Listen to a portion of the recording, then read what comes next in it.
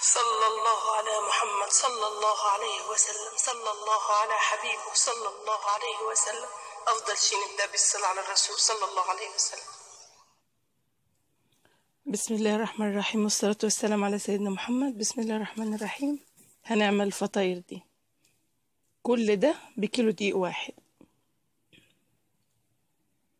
بصي كده هنعمل أحلى فطاير إن شاء الله. بكيلو دقيق واحد. هتعملي ده كله. يعني لو جاتك ضيافة على غفلة تعمليها عشان العيال المدارس الصبح تعمليها عشان تقعد في البيت تفطري بيها. حاجة كده تقعد معاكي يعني قولي قيمة شهر كده معاكي بالظبط. بصي عايزة كيلو دقيق لل... ده الحشو وده ال- العجين اللي هو العجينة نفسها.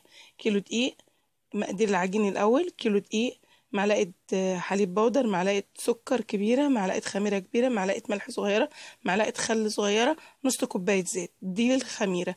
اللي قدام ده آه، سبانخ وهعمل جبنة. السبانخ آه، نص كيلو كيلو المقدار اللي تحبيه.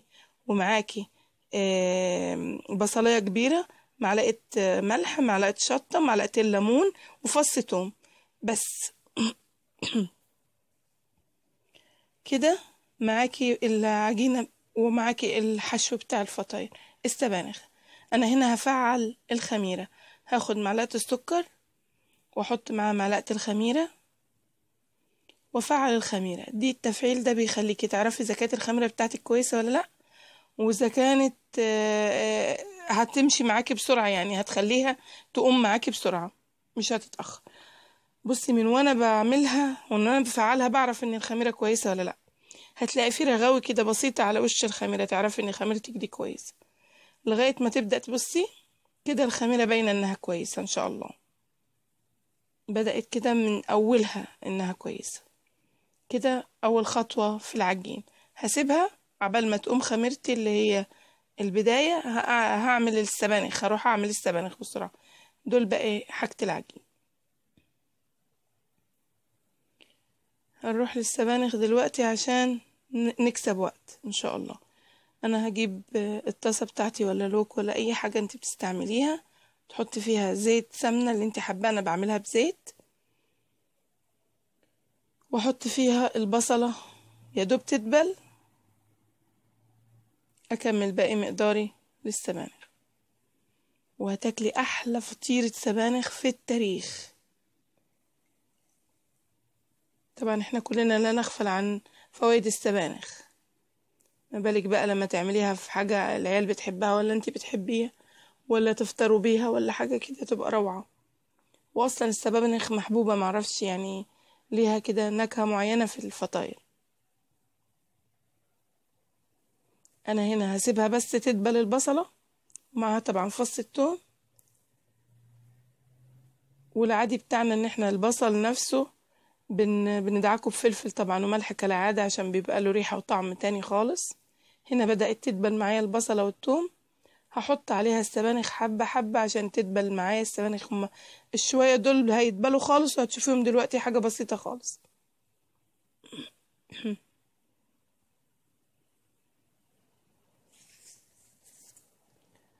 بصي كده.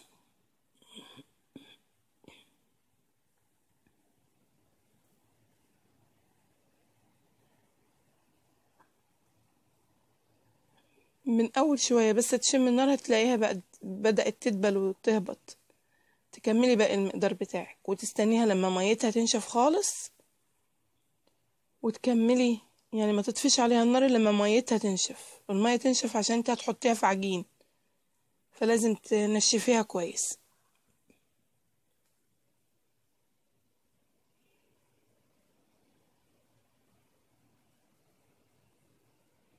شوفي خالص اهي دبلت اهي. والله أحلى فطيرة سبانخ هتدوقيها معايا ان شاء الله. هكمل باقي المقدار بتاعي كده من دبلوا الأولانيين هحط عليهم الباقيين. واشربها ميتها واحط عليها الليمون واحط عليها الشطة. و... ومش هقولك عيشي بقى مش هقولك على الطعم عيشي بقى. وفي ناس بقى بتستبدل السبانخ دي بحاجات تانية كتير. انت ممكن تعملي فراخ مسحب ممكن تعملي لحمة م- عصاج اللي هي زي زي لحمة المكرونة دي الشطة طبعا. ممكن تعملي الفطاير دي بمية حشو وحشو مليون حشو بطاطس بنفس طريقة السبانخ دي بس بطاطس. مي- مية حشوة وحشوة معاكي للفطاير بس أحلى حشوة للفطاير السبانخ اللحمة الجبنة الفراخ المسحب يعني الفراخ المخلية أقصد يعني.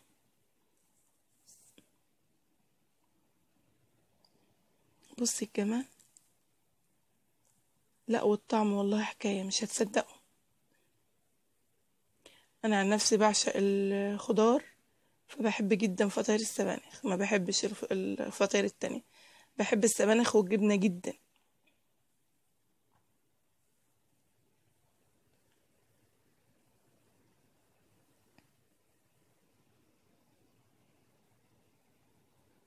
بصي بقى الخميرة بتاعتي هنا قامت. خلاص كده بقى كفاياها. هاخدها وهفعل عجينتي على طول.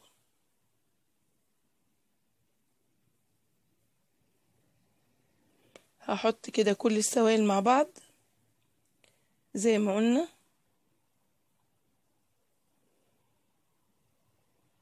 هقولك تاني المقادير. كوباية زيت معلقة خل معلقة آه، خميرة كبيرة معلقة سكر كبيرة معلقة ملح صغيرة كيلو دقيق معلقتين حليب بودر. دي عيار العجينة. أحلى عجينة وما تزوديش ولا تنقصي فيها. هتاخد مية معاكي بالظبط الكيلو 650 ملي أو 600 ملي حسب نوع الدقيق بتاعك. 650 ملي مية الكيلو الدقيق. أنا عايزة عجينة مش ناشفة أنا عايزة عجينة طرية وما تلزقش في نفس الوقت. هحط الحليب والخل الحليب مع ال هو والخل مع العجين بيعمل محسن خبز. يعني زي محسن الكيك اللي بتشتريه من بره بدل ما تشتريه حاجات ما نعرفهاش إيه إحنا بنحط حليب بودر ومعلقة خل. الاتنين بيشتغلوا مع بعض كأنهم محسن.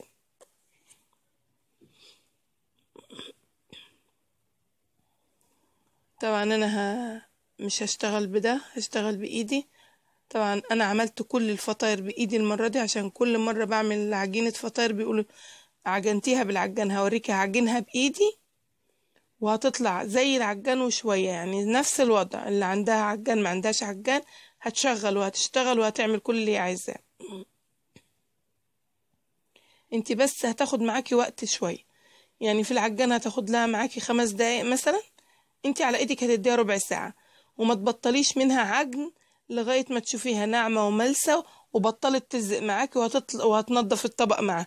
كأنك غسلت الطبق. كده يبقى عجينتك خدت راحتها والجلوتين بتاع الدقيق اشتغل وانتي ما شاء الله يعني هتاخدي منها أحلى نتيجة. ولو كمان آه نخلتي الدقيق مرتين هتاخدي حاجة يعني فوق الوصف هتبقى هشة وناعمة كده وحلوة جدا. أنا بنخل الدقيق أول مرة ساعة ما أجيبه وتاني مرة ساعة ما أجي أستعمله. فبيبقى كده نخلاه مرتين يعني تخلله الهوا كده. وعلى طول طازة بطازة الدقيق والحاجات دي ما تركنيش كتير يعني أقصى حد تجيبيه خمسة كيلو في البيت. تخلصيهم تجيبي غيرهم. بصي مش عايزة عجينة ناشفة. أنا هديها كفايتها من المية لغاية ما أنا بعرفها. تاخد 650 ملي معاكي لو مش عارفة اعيرها أنا بعرفها وأنا بعجن. حتى لو بالعجان بروح أشوفها. شكلها إيه؟ وأجس العجينة نفسها في إيديا. لولا أعرف إن أنا كده خلصت. ولونها وشكلها بيبان. تبيض كده وتنعم معاكي وما يبقاش فيها كلاكيع وتبقى حلوة جدا ناعمة وطرية وما تلزقش وتنضف عجانك. المكان اللي انت عجنة فيها. لسه عايزة حبة مية كمان. انت لو بد بصي بصي العجينة. والله لا غسلت الطبق ولا غسلت إيديا هي وحديها. عملت كده نضفت مكانها ونضفت إيدي. بصي الجمال وناعمة إزاي. ولا بس أهم حاجة تكون طرية. تاخدي من المخبوزات. عجينة طرية تاخدي منها أحلى فطاير أحلى بيتزا أحلى حاجة. تنشفي العجينة هتاخدي منها خشب. هنا أنا هفرد قدامك برضو مش بالمكنة بتاعت الفرد زي المرة اللي فاتت. هفرد قدامك. أنا هعمل فطاير واحدة بواحدة عشان عايزة يبقى الواحد يمسك وحدته في إيده ما يبقاش مش هقطعها دي. يعني هعمل كده وهعمل كده وهعمل كده يعني. هعمل مقطعة وهعمل حاجة اسمها المحنشة ولا الحنشة. الحنشة زي ما بيقولوا اخواننا ولا إيه؟ هعمل حاجة ملفوفة كده. وهعمل فطاير السبانخ وهعمل فطاير بالجبنة. وهعمل فطاير زعتر. طبعا إحنا عشقنا الحاجات اللي فيها خضار. أكيد أغلب الناس بتحب الحاجة اللي فيها خضرة أكتر. هي بتطلع حلوة في إيه؟ في إن انت ممكن تاخديها في فطار تاخديها معاكي في الشغل ما, ت... ما يجرالهاش حاجة. تديها لابنك في المدرسة تقعد معاه فترة عبال ما تيجي الفرصة أو ياكل فرصة أكلته أو ياخد سندوتشه.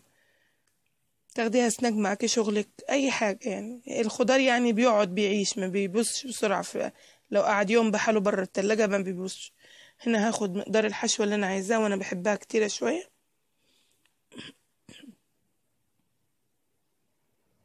وهلفها شوفي الرقة بتاعت الفطيرة. كام طبقة ولسه السبانخ هتبان تحتيها؟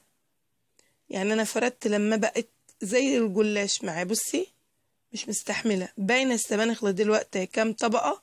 ملفوفة والسبانخ باينة. ولا أسهل من كده ولا أطعم من كده. وأحلى ضيافة لو جالك حد يتشرفك قدام صحابك ولا بصي. كده وخلاص خلصنا. هجيب صاج. وأحط فيه أه ورق الخبز وأحط عليه. بصي هعمل كمان واحدة هفردها قدامك. ما تكتريش عشان هتعذبك زي كده مش هترضى تشتغل معاكي كويس في الفرد. بصي أما بدأ الزيت يخف هي بدأت اهي تفرد معي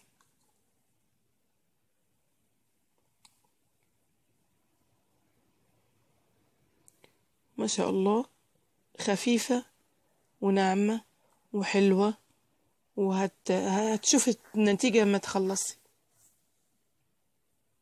أنا والله بعمل حاجة لوجه الله الفطاير دي بالذات في البيت نعمة قدامك أسبوع بعد ما تعمليها ما تفكريش هتفطروا إيه ولا عيل جعان هياخد إيه. بصي زي الجلاش كام طبقة لسه والسبانة وال... والعجينة بتقطع معاكي من خفاة. خفاة خالص. أنا عشان يبقى مورق كده لما بصي وادوس عليها كده. طبعا وانتي تصفيها كويس من المية بتاعتها عشان ما. ما تعجنش معاكي العجينة. الليمون مع السبانخ وال... والشطة والبصل والثوم مش هقول لكم على الطعم. جربي الخلطة دي وقوليلي. وبرضو في ناس بتعمل معاها يعني في ناس أنا برضو من الناس دي بعمل البطاطس بحمرها بقطعها مكعبات صغيرة مش صوابع فينيجر لأ بقطعها مكعبات صغيرة وأقليها. بعد ما أقليها أطلعها أفرم بصلة وأحمرها اللي هي رخرة وأحطهم مع بعض. وأحط بهاراتي كزبرة وحاجات من دي وأشتغل بيها أو توم وأحطهم مع بعض كزبرة و... وبصل وتوم واحطهم كمان دي خلطة روعة حشوة روعة. بتنفع في السمبوسك بتنفع في الفطاير.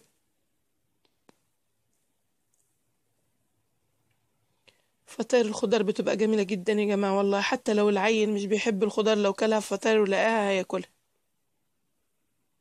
بص الجمال هنعمل كمان واحدة. ممكن الطريقة دي تعملي بيها سبانخ أو تعملي بيها جبنة. أو أي حشوة أنت عايزاها بس هي بتبقى في الحاجات اللي هي ما فيهاش قوام. يعني اللي زي السبانخ أو الجبنة ده بيبقى إيه مش كتلة زي البطاطس حتة كده تبقى تيجي تبان كده حتة مكلكعة وحتة لأ. لأ الحاجة اللي ما فيهاش قوام زي الجبنة زي السبانخ زي فطاير الزعتر. ممكن تحشي كده. العجينة دي بيطلع منها كل حاجة يا جماعة. بيطلع منها السينابون بتطلعي منها الكرواسون بتطلعي منها الفطاير طلعي منها أجدع أجدع عجينة مورقة. اللي انت عايزاه بتطلعيه من نفس المقدار والعجينة دي بس يختلف تكات بسيطة. وإن شاء الله كل مرة هعمل في العيار ده هوريكم أعمل منه إيه. أعمل منه الدنش هعمل منه حاجات هقولك عليها وهوريها لك. أنا بعشق المعجنات وأتفنن فيها أحبها يعني وأحب البيت يبقى فيه معجنات على طول. دي فطاير الجبنة وجبنة عادية خالص ما حطاش معاها أي حاجة ممكن تحطي معاها أي حاجة. دي باقي العجين اللي إحنا قسمناه وخدنا منه عملنا ال- السبانخ. دول هعملهم فرد في الص- في الصينية كده. هعمل زعتر وهعمل جبنة وهعمل ال- الملفوفة دي. هقسمها.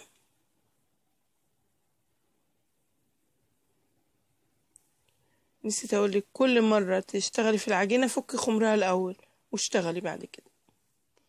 عبال ما تخلصي هتكون خمرت تاني وهتبقى أحلى لما تخمر مرة واتنين هتبقى أحلى. بس ما تكتريش عن مرتين أو تلاتة بكتير. ما شاء الله. يلا بقى نشوف هنعملها مفروضة إزاي. أنا هنا فردتها في الصاج جبت صاج وحطيت له آه ورق الخبز.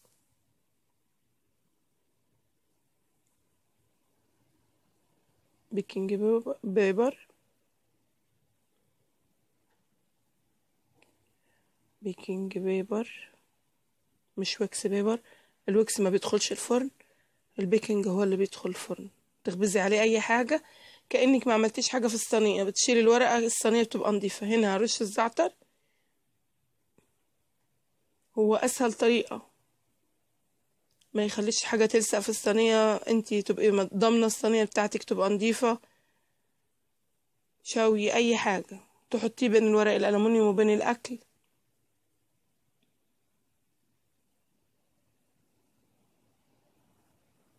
هرش شوية زيت زيتون برضو. وفي الأول برضو حطيت زيت زيتون. الزعتر وزيت الزيتون. رفقاء ضرب. ما, بين... ما ينفعش ده وحده وده وحده. لازم بزيت زيتون. هنا هحط دي جبنة سادة لوحدها كده بدون أي حاجة معاها. دي جبنة. انتي بقى وبمزاجك الجبنة اللي تحبيها واللي تحبي طعمها في الفطاير.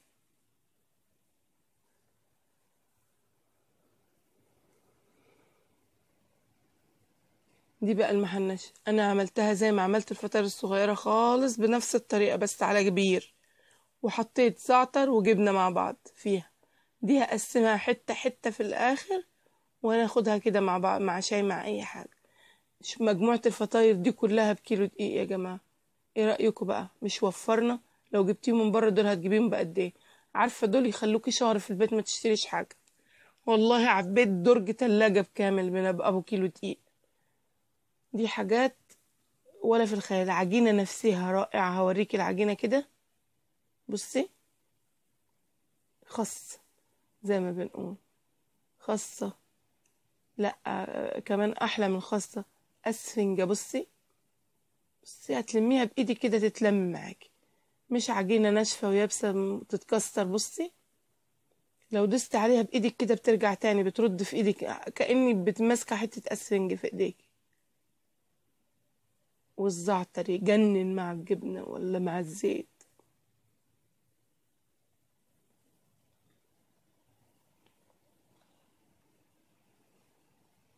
بصي دي فطاير السبانخ والله ولا في الأحلام تشتري الحاجات دي كلها بتمن كيلو دقيق وحاجات عندك في البيت لا انت لو نضفتي التلاجة وحبيتي ترمي اللي في الأطباق هتعملي أحلى فطاير من اللي عندك في التلاجة. بواقي لانشون بواقي جبنة بواقي بيض بواقي اللي عندك كله بيتعمل فطاير. سبانخ كل خلطات الخضار بيعملوا بالبسلة والجزر بيعملوا كل حاجة. هنعمل في كل مرة. بصي العجينة بصي العجينة. والله تقول اسفنج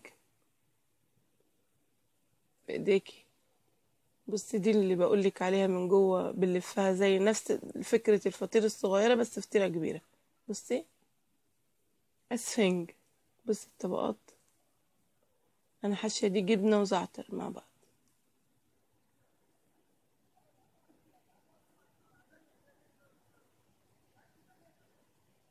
رائعة. بصي. بالذمة دي عجين بصي العجين بالذمة ده عجين. بصي العجين. بصي.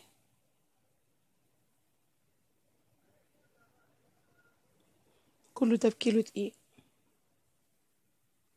مشاهدة ممتعة. إلى اللقاء